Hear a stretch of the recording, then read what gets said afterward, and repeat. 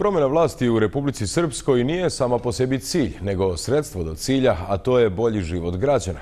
Građanima treba da polože računi oni koji su društvo doveli u ovo stanje, a jedan od načina je ilustracija, a za neki i zatvor. Istakli su mladi političari u emisiji Izazovi BN televizije.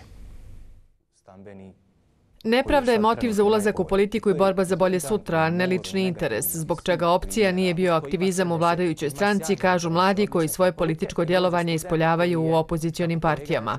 U mnogim našim institucijama nalaze ljudi, ne samo mladi, nego i stariji ljudi koji primaju plate, čak i ne dolaze na posao. O tome su govorili i najviše funkcioneri Republike Srpske, pa je na kraju bilo ono pojeo Vuk Magarca, zaboravilo se za to i na kraju, evo, juče sam čak pročitao jednu informaciju da je samo jedan radnik u kompletnoj vladi Republike Srpske dobio otkaz po tom osnovu da je primao platu, a nije dolazio na posao. Samo u Doboju ima mnogo takvih ljudi koji ne dolaze na posao, primaju plate, a ko zna koliki je taj broj u republičkim institucijama, kaže Gavrić, i dodaje da se takav sistem mora mijenjati.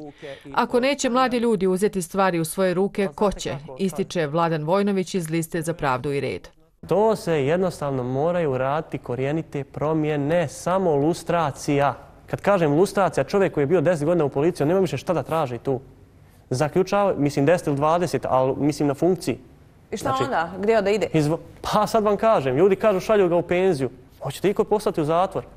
Kažem, vladajuća struktura više nema šta da obećava. Položi račune narodu ovaj režim koji jako dugo vlada. Ubio je nadu ljudima. E, on, e, ljudima su nametnuli mišljenje tako je kako je, drugačije neće biti. Kome se sviđa nek ostane ovdje, kome se ne sviđa nek ide vani. I mislim zato kažem da je to prije svega ultimativni cilj da promijenimo ovu vlast jer sa novim ljudima nam može biti bolje. Sa ovim istim ljudima ne možete očekivati da bude bolje.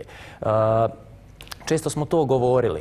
E, neko kaže, e, možete li nam vi garantovati da će nam biti s vama bolje? Ja kažem, ako vam ne bude s nama bolje, promijenite ponovo. Dajte trećoj garnituri ljudi šansu. Dajte četvrtoj. Ljudi su poniženi i osjećaju nepravdu na svakom koraku što ih tjera iz ove zemlje. Upozorava Nemanja Kondić iz Narodnog fronta.